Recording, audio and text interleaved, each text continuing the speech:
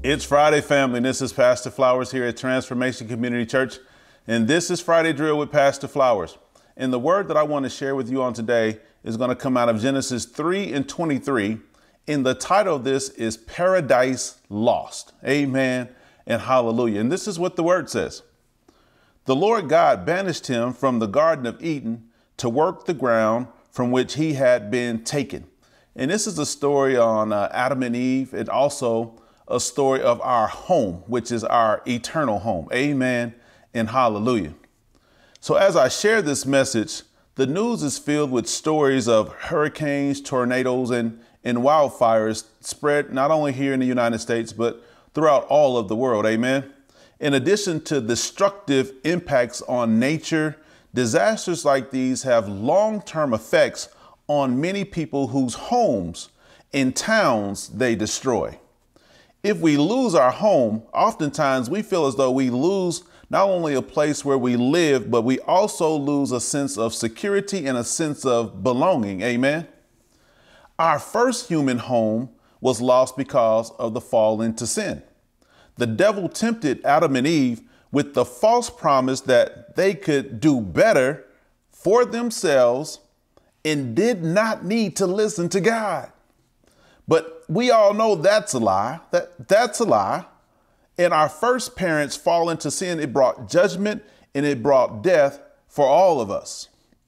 As a result of our first parents' sin, humanity is now homeless. This place that we're living in here on earth is not our home. We're, we're homeless and we cannot make our own way. I want you to pick what I'm putting down. We cannot make our own way back to the security of God's presence. We struggle, we still struggle under the effects of sin today.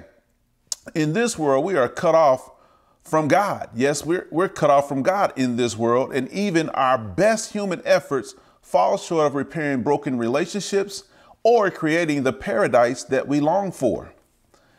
But I gotta, I, I gotta share with this, this with you. But God, here, here we go, right there. That right there changes everything. We got a but God moment. But God is not finished with us yet. Amen and hallelujah. Help me, somebody. God graciously provides for us so that we are able to survive away from our eternal home, from our, our, our time with, with Him. And he still asks us, he still asks us today, where are you? Where are you? My son, my daughter, where are you?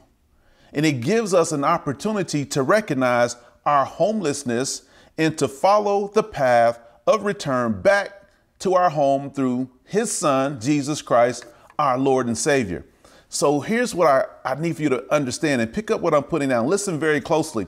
Jesus Christ died on the cross so that we can be reconciled back to God, so that we can we can claim our eternal home, which is in heaven. Amen and hallelujah.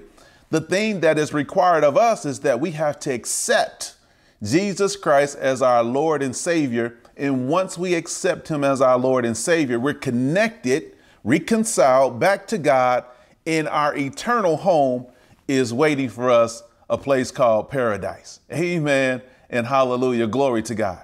So, family, if this word uh, inspired you, if it moved you, if it resonated with you, I ask that you please share this word. Uh, we can share it here on Facebook, YouTube, and on Instagram at TCC Arizona. It's important that we share this word to let everyone know that our eternal home is waiting on us. This here place that we're living in right now is temporary. Amen and hallelujah. And as I leave with you this time, as I leave with you all the time, I want you to know that I love you. I love you. I love you from the bottom of my heart. And I want you to know that God loves you so, so, so much more. So, again, until this time next week, Friday, I want you to have a most favorite weekend.